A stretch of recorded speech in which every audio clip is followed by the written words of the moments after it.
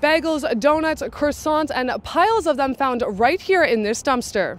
I just couldn't believe the amount of the, the amount of food that was there. Um, it, it it really did something to me. There was enough to feed a few families, absolutely. Uh, if not, uh, I mean, there was a lot. There was a lot. There was bread and and buns and muffins, and it was you know it was perfectly good food. They basically said that it was company policy right across the board uh, in all of the locations, and that they had to throw out anything that wasn't purchased throughout the day. So day old items were being tossed into the garbage cans. Definitely giving it to the less to, to anyone. I mean, there's home, there's a homeless shelter two blocks from here, um, and there's you know there's the gospel mission.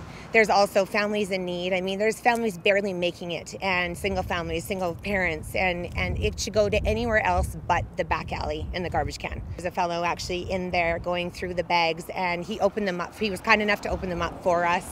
And um, again, he said there's about three or four bags full every single day at that location in that dumpster.